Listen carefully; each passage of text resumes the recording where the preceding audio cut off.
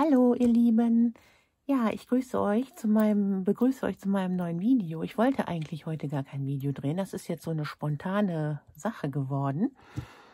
Ähm, ich bin nämlich eigentlich an was ganz anderem dran gewesen. Nochmal mit Briefen und Schreiben und so. Ne? Das ist ja momentan hier so aktuelle Serie. Ähm, aber dann habe ich irgendwie so ein komisches Gefühl gehabt und habe irgendwie überlegt, was, äh, ja, wie, jetzt habe ich den Faden verloren. nee, ich habe nicht überlegt. Das kam so irgendwie, äh, das war jetzt so ein Zufall. Und zwar, ich hatte, ich sage euch direkt mal, worum es geht. Es geht um Babytücher, Babyfleece, Babywipes. Wir haben sie alle wahrscheinlich auf dem Basteltisch liegen. Ne? Die sind äh, ja ne, der Retter in der Not immer. Ne? Die sind irgendwie total cool. Ich benutze immer die relativ teuren vom DM, weil da komme ich irgendwie am besten mit zurecht und die sind auch irgendwie, ich meine, weil die haben, also ich glaube, was steht da drauf? 99 Prozent oder 98 Prozent Wasser ist das eigentlich nur mit ein bisschen Mandelöl äh, oder Mandelextrakt. Ich, äh, also ich habe auch schon andere probiert, die sind äh, viel schmieriger und fettiger und so weiter. Da komme ich irgendwie nicht so mit klar dann. Dann habe ich so einen Schmierfilm auf dem Tisch. Ne? Das möchte man ja nicht äh, also zum Reinigen für meine Bastelutensilien und meine Arbeitsfläche benutze ich halt immer diese Tücher. Ne? Ja, gut, die kosten ein bisschen mehr, aber nun ja, das stört mich jetzt nicht. So, bla bla, genug Werbung gemacht dafür. Es, ich kaufe mir die selber, also das ist nichts, ich möchte da keine Werbung für machen. Das ist einfach nur, dass ich euch, wenn ihr fragt wahrscheinlich, welche benutzt du denn? Und darum äh, werde ich das schon mal direkt von vornherein sagen. Ähm, ich benutze bestimmt am Tag, ja, also wenn ich am Basteltisch sitze, beziehungsweise am Tag ist gut, aber also in den Zeiten, wo ich am Basteltisch sitze und so, da benutze ich bestimmt zwei, zwei bis drei mindestens, ne? Für die Hände, für den Tisch, um den zu reinigen, die Platte, um Instrumente zu reinigen und so weiter. Und äh, darum fallen da so zwei bis drei halt an. Und ähm, ich, ich sammle nicht alle, weil das, oh Gott, da hätte ich ja im Jahr hier so einen Stapel, aber äh, ein paar hebe ich auf. Vor allem habe ich immer aufgehoben, die besonders schön grungy geworden sind. Ne?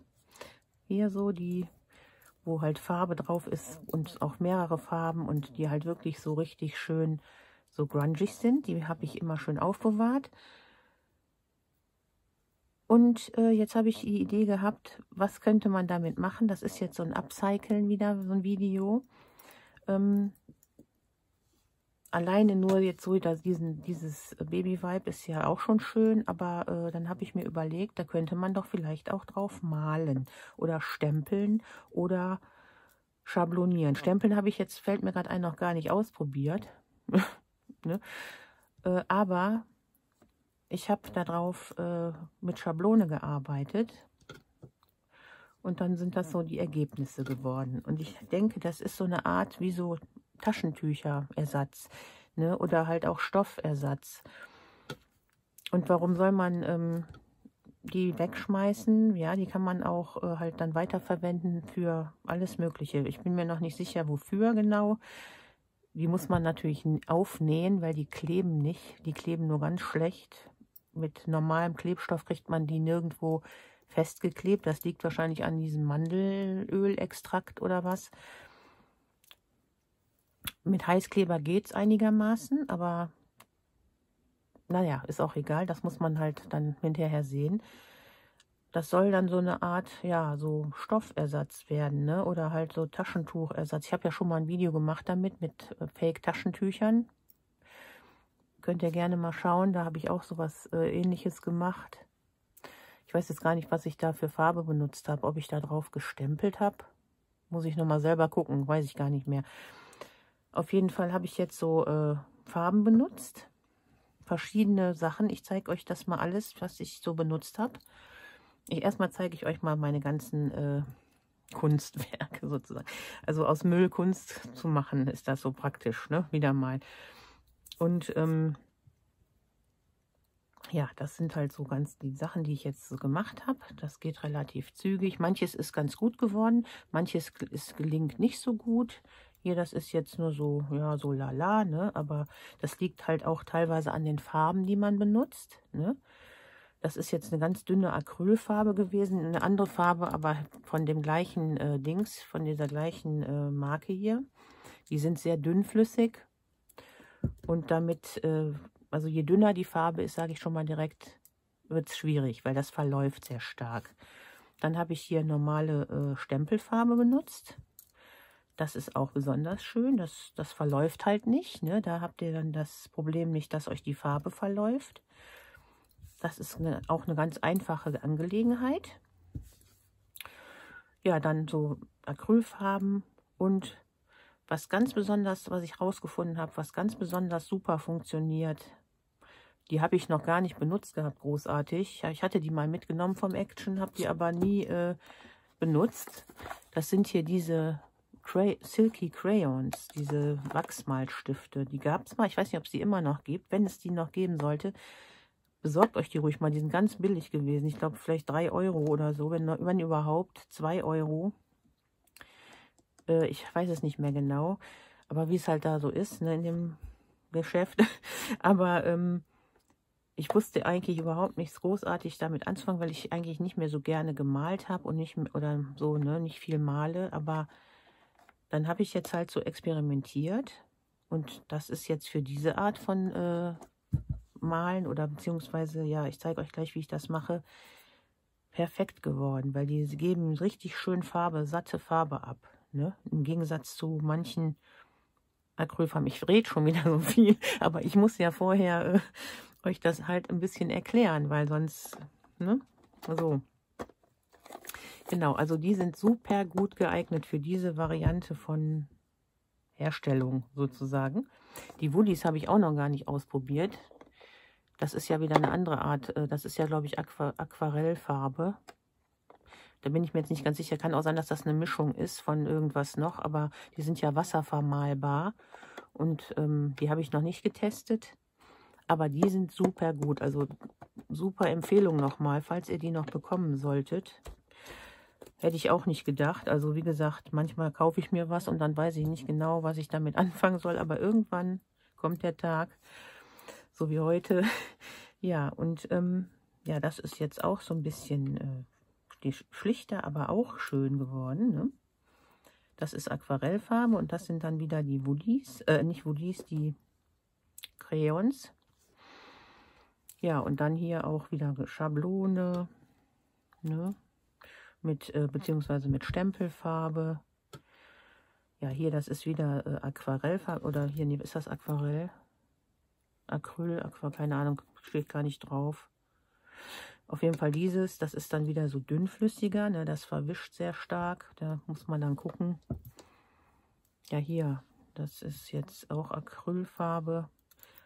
Die Farbe finde ich total super. Die habe ich mir selber angemischt vorhin. Da, da bin ich ganz verliebt in die Farbe. Hier auch nochmal. Ja, und hier noch so ein ganz buntes Ding. Das ist jetzt hier so, habe ich jetzt so, das war so mein erstes, was ich jetzt gemacht habe, um zu üben und so. Ja, also das machen wir heute. Wie gesagt, das ist jetzt so eine spontane Sache.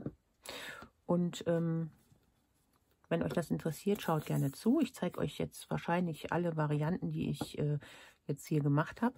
Allerdings habe ich nur noch so diese grungigen, ich habe auch nur noch eins, zwei, vier Stück. Die anderen habe ich jetzt alle aufgebraucht. Und wo ich mich jetzt auch so ein bisschen ärgere, ist, dass ich gar keine dezenteren Sachen habe. Also, aber warum auch? Weil ich mache ja damit sauber. Ich habe mir jetzt extra hier so ein paar rausgelegt. Habe die zwar auch schon hier mit Farbe bekleckert, aber die lasse ich jetzt mal so trocknen, damit ich mal so ein bisschen was ganz Dezentes machen kann, was mit hellen Farben oder so mal, ne? dass das wirklich dann auch so aussieht wie so ein bisschen so Taschentücher. Da werde ich dann hier so Blümchen auch in die Ecken dann machen, ne? dass das dann so ein bisschen auch pastelliger wird, nicht so knallig. So, genau. Also wie gesagt, ich habe jetzt leider nur noch hier diese, diese vier Dinger übrig.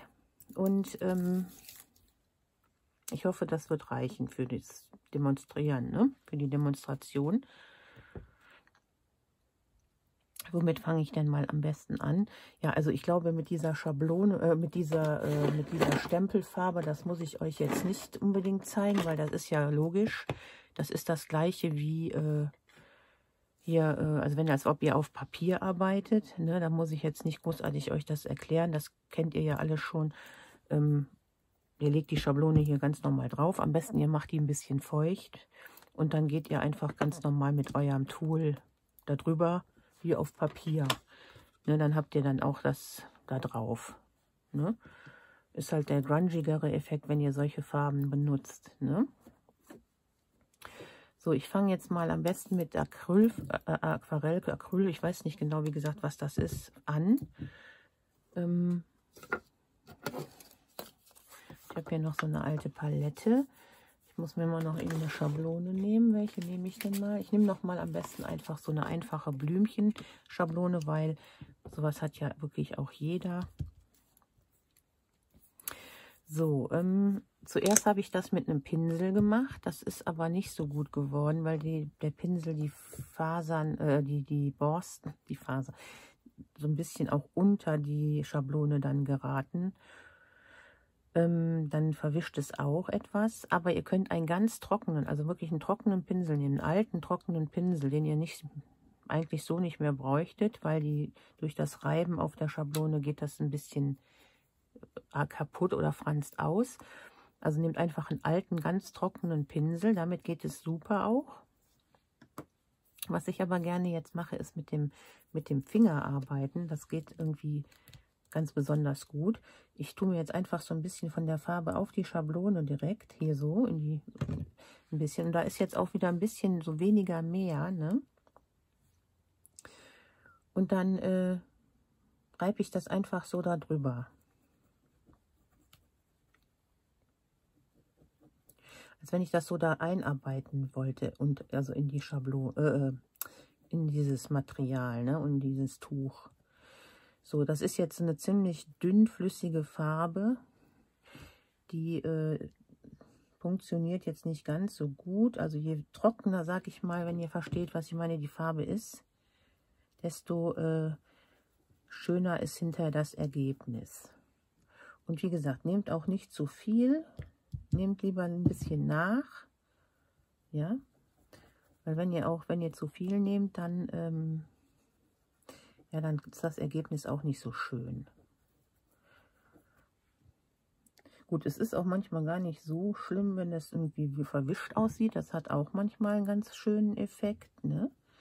Aber da muss man halt abwägen, was man halt gerne hätte, ob man es also mit schönen Kanten hat, lieber hat oder lieber halt dann die Wischtech Verwischtechnik. So, da auch noch mal ein bisschen. Ich tue die Farbe so ein bisschen an die Seite von dem Motiv, dann nicht direkt auf das Motiv. Ihr könnt dann auch noch mal mit einem feuchten, auch mit einem frischen, feuchten Ding einmal so da drüber gehen. Dann könnt ihr das auch noch mal ein bisschen entweder abschwächen. Ihr macht direkt auch eure Schablone sauber und ihr könnt auch noch mal so ein bisschen das verteilen, so. So habe ich es jetzt halt gemacht. So, da. Da sieht man jetzt, also das ist äh, eine sehr dünne, dünnflüssige Farbe und die zeichnet halt nicht so richtig perfekt ab. Ne? Genau. Aber äh, ist auch nicht so schlimm, weil jetzt können wir nämlich äh, schärfere Motive darauf noch zeichnen. Ähm, ich nehme die gleiche Schablone. Gut, vielleicht äh, machen die so ein bisschen sauber, aber ist auch nicht nötig. So, genau. Jetzt könnt, legt ihr das einfach, wie ihr wollt, hin. So, und dann nehmen wir jetzt mal hier diese Crayons. Nehmen wir mal eine, Kont was nehmen wir denn mal für eine schöne Farbe da zum Kontrast? Ähm, ja, ich nehme jetzt einfach mal eine dunklere Farbe, damit ihr mal seht, hier so ein Grau. Ja, und auch nochmal, das kann man auch mischen mit einem schönen knalligeren Ton. Vielleicht so ein, ja, so ein Rose. Ich bin eigentlich nicht so der Pink-Typ oder so, aber naja, ähm, muss man halt ein bisschen sich einarbeiten in die Farbwelt. oh Gott, was rede ich denn schon? Ja, also, ähm, die sind sehr weich und ähm, das ist halt so ein Wachs, ne? Da braucht ihr also kaum Druck. Ihr geht einfach so ein bisschen über die äh, Schablone. So, das, das ist auch sehr ergiebig. Ne? Ihr könnt einfach schon mal in die Blume etwas reinmalen. So. Am besten, ihr macht euch die auch direkt schon alle auf, die ihr braucht, weil sonst nicht, dass euch die Schablone verrutscht. Aber dann kann man auch direkt schon hier so ein bisschen mischen, wenn ihr wollt. Kann man aber auch hinterher noch so, und dann nehme ich wieder einen Finger. Das, auf Dauer ist das natürlich ein bisschen äh, unangenehm immer, wenn man so wirklich viele Sachen macht. Der ist schon ganz rot. Obwohl, das kann auch jetzt von der Farbe kommen. nee, aber ich nehme jetzt mal dann einen anderen Finger und dann äh, auch einfach in dieses Motiv so reinarbeiten. Das, also so viel Druck braucht man da jetzt nicht. Das sieht jetzt so aus, aber dann könnt ihr das so richtig schön auch durch die Wärme, die so ein bisschen entsteht, durch, verteilt ihr dieses Wachs auf diesem Tuch.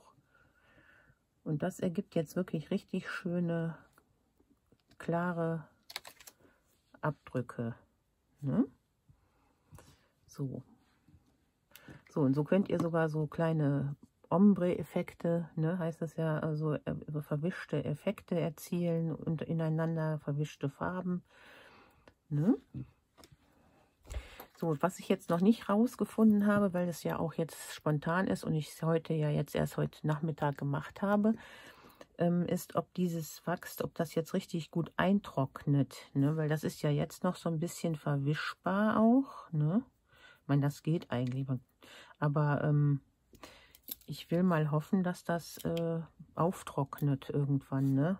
Weil, ich meine, was verwischen kann, ist jetzt eigentlich so nicht unbedingt, ne? wenn man jetzt nicht da richtig doll drüber rüber reibt. Hier ist es, glaube ich, sogar schon trockener. Also ich denke mal schon, dass das irgendwann halt einfach trocken ist. Oder ich weiß nicht, vielleicht kann man das fix irgendwie fixieren, nicht? Wie heißt es? Ähm, heißt es fixieren? Also, ja, wie halt so eine Firnis, also so ein Firnis auftragen oder was, irgendwas aufsprühen, aber da, da weiß ich nicht genau, ne? Müsste man mal gucken. Oder mit Klebstoff vielleicht, aber dann wird es hart. Hm. Also es ist noch so ein bisschen in der Experimentierphase auch, was diese Wachsstifte angeht. Das trocknet ja auf jeden Fall äh, aus. Ne? Da könnt ihr auch sehen, das geht auch so durch hier. Ne? Die sind ja durchlässig und ihr habt der Rückseite auch was. Genau. Machen wir noch mal hier eben das Tuch hier zu Ende. Dann mache ich einfach jetzt mal die gleichen Farben.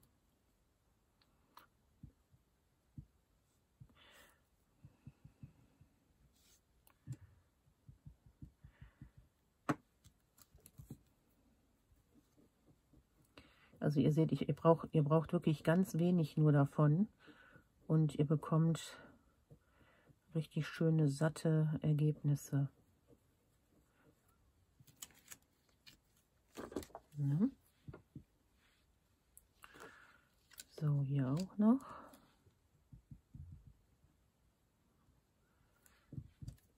Also ansonsten, ich wüsste nicht, ich habe noch, ich habe sogar noch wirklich richtig teure äh, Wachsmalstifte hier rumfliegen irgendwo. So von, äh, ja, also richtig aus dem Bast, richtig äh, aus dem äh, Bastelgeschäft. Die habe ich aber schon 100 Jahre ge äh, gefühlt. Ähm, die habe ich mir mal gekauft. Aber die habe ich auch so gut wie nie benutzt, weil ich damit nie so gerne äh, gemalt habe.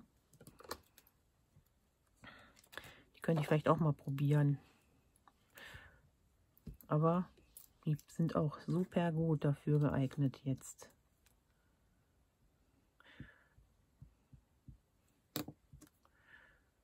Ja, und so könnte man sich halt so eine, ich habe, also der Hintergedanke dabei war jetzt halt, ähm, ja, sich so paar, ja, so ein paar Taschentücherlein zu machen, sozusagen als äh, wie man die halt dann so benutzt im Journal. Ne? Oder auch vorne aufs Cover könnte man das nähen mit als Collagen. Ne? Ja.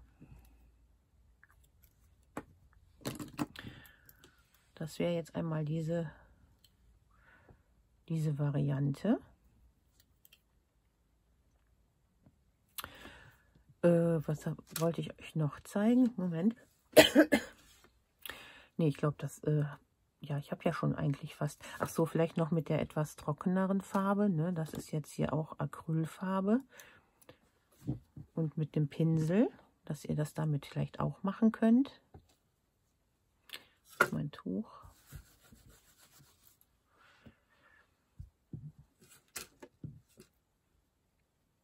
So, ähm, das muss ich gleich sauber machen. Ich nehme mal hier dieses schöne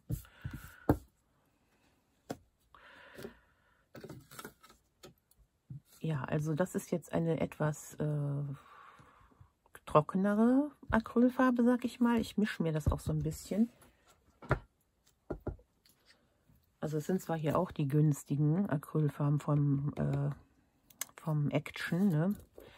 Die sind jetzt auch nicht so zum Malen, weiß ich nicht. Also, hm. Aber für manche Dinge kann man halt sowas auch benutzen. Ne? Günstiges Material. Äh, aber die ich habe die eigentlich nur mitgenommen wegen dieser super tollen Farbe. Äh, ja, dann nehme ich jetzt einfach so, das ist jetzt ja egal, die, ähm, wie die Farbvermischung ist. Das müsst ihr ja dann selber mal schauen ob ihr das mischen wollt oder was ihr da nehmt. Ich mache nun mal die gleiche Farbe. Bisschen grau rein. Und einen ganz kleinen Schuss Gesso.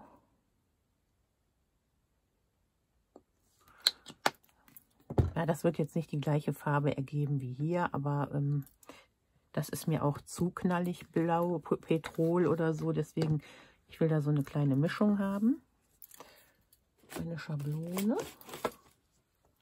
Nehme nochmal die gleiche. Das mache ich jetzt äh, mit einem trockenen Pinsel.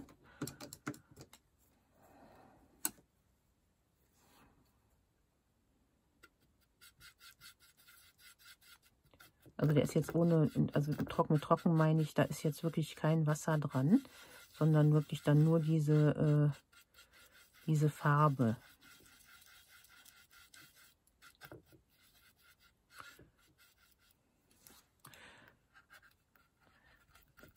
Ja, eigentlich ist der, da ist, also ihr braucht wirklich gar nicht so viel Farbe, sondern einfach nur so ein bisschen da rein dippen und dann male ich einfach so darüber.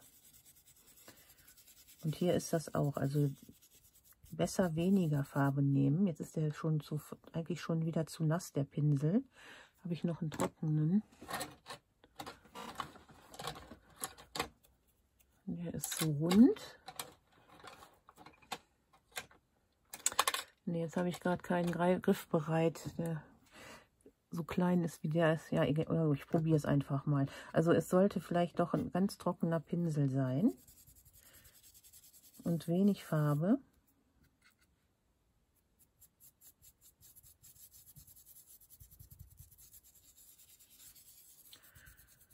Und ihr könnt, kommt auch, äh, sogar wenn da kaum noch was drauf ist an Farbe, könnt ihr sogar noch äh, malen. Und die Ergebnisse werden etwas äh, sogar richtig gut dann, wenn da wenig Farbe dran ist.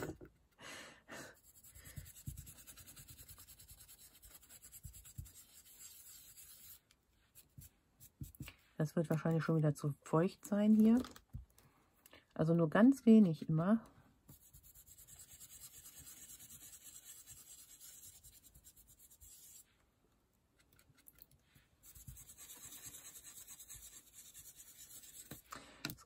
Eigentlich auch, auch ganz gut mit dem Finger machen.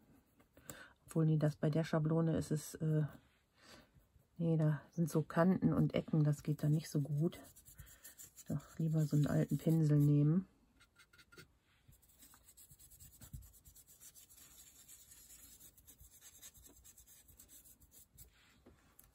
Hier unten machen wir noch.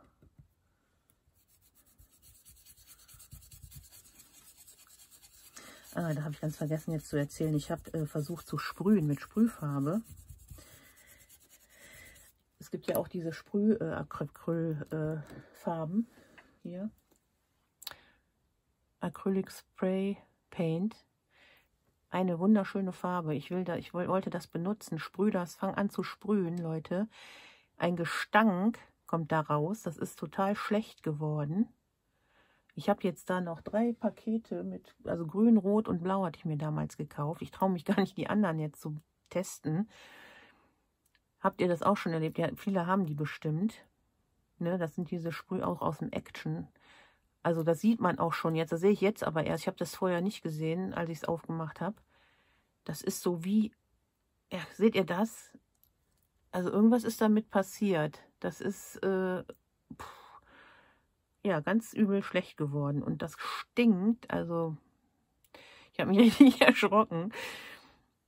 Und ähm, habt ihr das auch schon erlebt mit diesen Dingern hier? Das ist natürlich total schade, weil äh, da ist jetzt noch extrem viel drin. Und ich habe, wie gesagt, auch noch ja, drei, sechs, neun Flaschen in verschiedenen Farben. Ja, super. Kann ich wahrscheinlich alles wegschmeißen, ne?